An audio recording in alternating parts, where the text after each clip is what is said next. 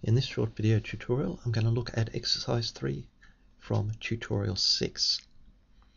If we read the exercise, the two words that should jump out at us are randomly distributed. This should tell us that we should be looking at the Poisson distribution because if things are randomly distributed, counts of them should follow the Poisson distribution. So here we've got the Poisson distribution formula from the statistical manual it is e to the minus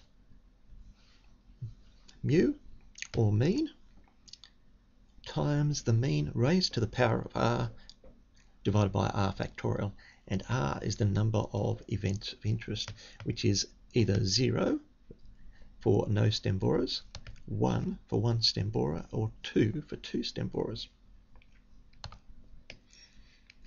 So here I've started to work out the results.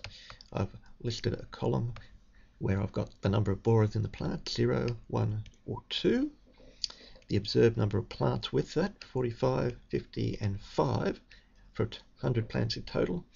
And then I need to work out the mean number of borers per plant. These plants have no borers. These 50 plants give us one borer.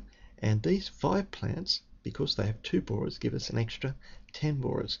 So that gives us 60 borers in total and a mean of 60 borers divided by 100 plants equals 0.6.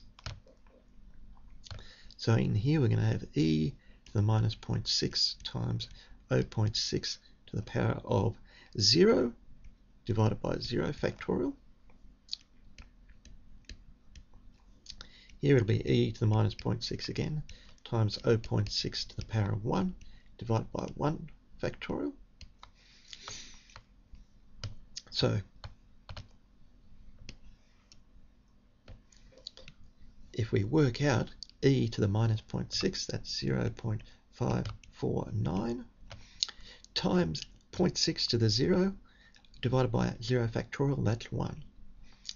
Our next will be 0.0549 times 0.6 to the power of 1 divided by 1 factorial or 0.329.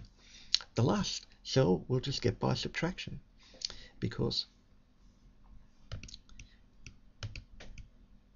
we can just go 1 minus 0.549 minus 0.329 gives us 0.122 in there.